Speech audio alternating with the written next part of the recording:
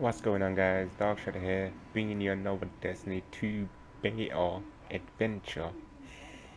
Um, now, I am seeing a future war cult ship here.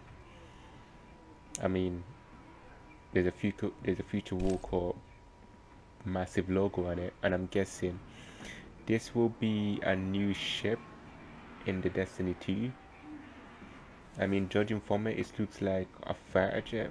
I think that's the cockpit right there, the wings there and there.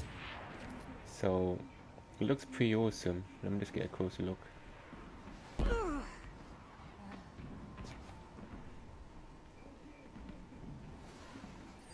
Yeah, so this so this is definitely a new ship.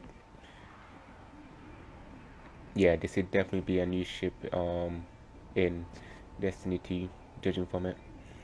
I think Bungie just puts it here just to try to see if we guys or us guys will try to figure it out. But yeah, this is definitely a future war cult ship, judging from everything that's on it and around it. Anyway, guys, don't forget to subscribe, leave a like, comment, and I'll catch you for more Destiny 2 adventure.